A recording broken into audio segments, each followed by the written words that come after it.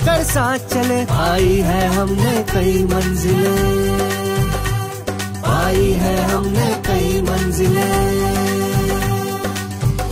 भारत की आत्मा गाँवों में बसती है। ऐसे में गाँवों को हर मोर्चे पर सशक्त और समृद्ध किए बिना सतत विकास की हर संकल्पना अधूरी है।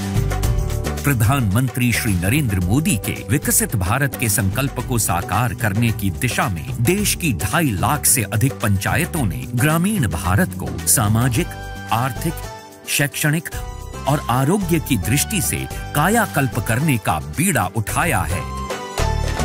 2014 के बाद से देश ने अपनी पंचायतों के सशक्तिकरण का बीड़ा उठाया है। आज भारत की पंचायतें गाँवों के विकास की प्राणवायु बनकर उभर रही है।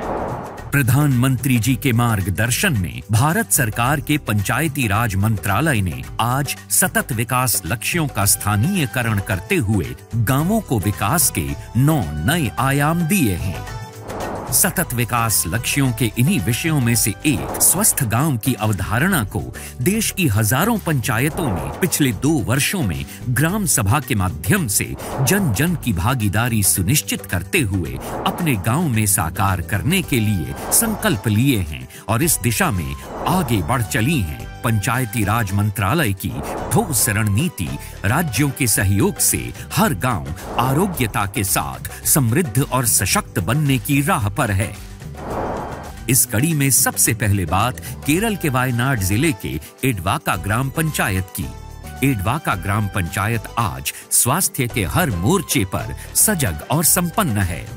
जहां योग केंद्र में नियमित योग करने से लेकर आयुर्वेद केंद्र पर आयुर्वेदिक पद्धति से उपचार और प्राथमिक स्वास्थ्य केंद्र में ग्रामीणों के समुचित इलाज का प्रबंध है എവിടെയെങ്കിലും ഒരു എപ്പിഡമിക് അല്ലെങ്കിൽ പകർച്ചവ്യാധി ഉണ്ട് എന്ന് റിപ്പോർട്ട് ചെയ്തിട്ടുണ്ടെങ്കിൽ അതിനനുസരിച്ച് നമ്മൾ അവിടെ വാക്സിനേഷൻ അല്ലെങ്കിൽ മറ്റുള്ള ക്യാമ്പുകൾ മെഡിക്കൽ ക്യാമ്പുകൾ ഇതൊക്കെ നമ്മൾ അവിടെ സെറ്റ് ചെയ്യുന്നതിന് വേണ്ടിയിട്ടുള്ള ഒരു കൂടിയാലോചന സമിതിയാണ് इसी तरह ओडिशा के गंजम ज़िले की ग्राम पंचायत भी आज स्वास्थ्य की दृष्टि से एक मिसाल बनी है।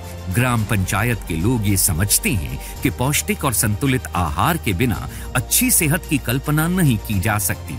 इसलिए यहाँ पोषण वाटिका ज़बरदस्त तरीके से फल फूल रही है। इस पंचायत में पीने के साफ़, स्वच्छ पानी पर भी काफ़ी ज़ोर दिया गया है।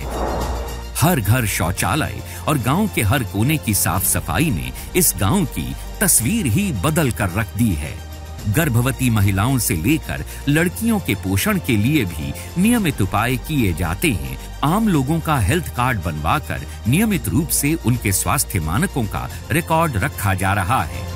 ତାପରେ ପ୍ରତ୍ୟେକ ଲୋକ ଉପକାର ହେଉଛନ୍ତି ମେଡ଼ିକାଲରୁ ସମସ୍ତେ ସୁବିଧା ପାଉଛନ୍ତି ମହିଳାମାନେ ଦଶ ଲକ୍ଷ ଟଙ୍କା ଆଉ ପୁରୁଷମାନେ ପାଞ୍ଚ ଲକ୍ଷ ଟଙ୍କାର ସହାୟତା ରାଶି ଦିଆଯାଉଛି इसी तरह जम्मू कश्मीर के कठुआ जिले के हीरानगर प्रखंड के कूटा पंचायत ने भी अपने स्तर पर ग्रामीणों के जीवन में रंग भरने और उनकी जिंदगी को बेहतर करने का बीड़ा उठाया है स्वास्थ्य केंद्रों पर नियमित और निशुल्क जाँच का प्रावधान भी ग्रामीणों के लिए काफ़ी मददगार साबित हुआ है। साथ ही आंगनबाड़ी केंद्र भी एक स्वास्थ्य पंचायत बनाने की मुहिम में अपना योगदान दे रही है। अब बात असम के कामरूप ज़िले के अजरा ग्राम पंचायत की। पंचायत के पदाधिकारी अपनी ग्राम पंचायत को स्वस्थ और समृद्ध बनाने के उपायों पर लगातार विमर्श करते हैं। यहाँ रहने वाले समस्त ग्रामीणों के आयुष्मान कार्ड भी बन गए हैं। मेरठ, उत्तर प्रदेश की मतौर ग्राम पंचायत में भी प्राथमिक स्वास्थ्य केंद्र पर डॉक्टर नियमित रूप से मौजूद रहते हैं, जहाँ गर्भवती महिलाओं से लेकर बुज़ुर्गों का खास ध्यान रखा जाता है। आशा कार्यकर्ता भी लगातार हर संभव मदद के लिए यहाँ मौजूद रहती हैं। जन भागीदारी बहुत है हमारे यहाँ जो भी कोई समस्या आती है फंडिंग करना जो भी कोई समस्या है उसका निस्तारण हम अपने तरीके से करते हैं। इन पंचायतों के द्वारा किए गए कार्य स्वस्थ गाँव की दिशा में एक नया आयाम है। देश की सभी पंचायतें इन स्वास्थ्य प्रक्रियाओं को अपनाकर अपने गाँव को स्वस्थ सुखी और समृद्ध बना सकती हैं।